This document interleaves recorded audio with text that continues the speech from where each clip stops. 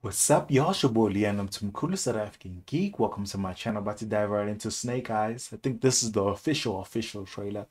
It's behind the mask. The first one was like a minute. This one is two minutes. Two minutes, 22 seconds. So we're about to see a whole lot of stuff. See what this movie all about. You know what I'm saying? Let's dive right in. Oh, cage fights.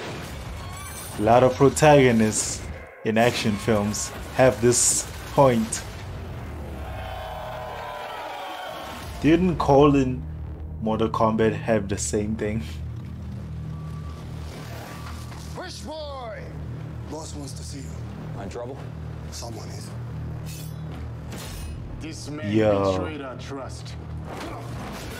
How did they betray? Oh, is he gonna spare his life? Ooh, they teamed up. You saved my life. We are going home. I don't have a home.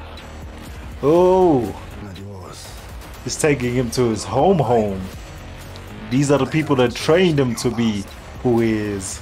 But I can offer you a purpose. So it was a debt.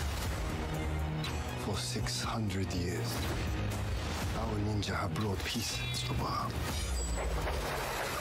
Superhero ninjas? I believe in you. Yo, Alright, what do I have to do? you got the dude from the raid, the dude from the Wa- Warriors, Henry Golding. The three challenges in the what now? July 23. You will gain access God damn. to our knowledge and our power. They ain't playing around. Sam! Cobra is coming. What's Cobra? A shadow organization devoted to global Oh. Paris! I've been following you for some time. Do I know you? I know you, Snake Eyes. God damn. Like he's basically not in his mask at all in this. Is this whole movie building up to him deciding to put on the mask and never take it off?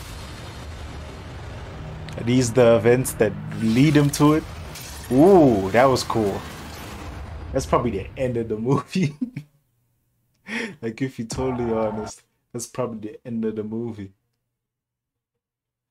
Am I wrong? That's probably the end of the movie. Him putting on the mask finally.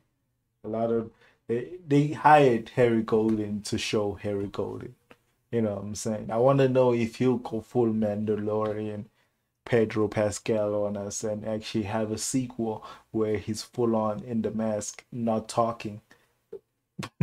That'll be another skill in acting. God damn. It looks great though. I'll give you that. It looks great. The budget looks phenomenal. The action sequences, the cinematography.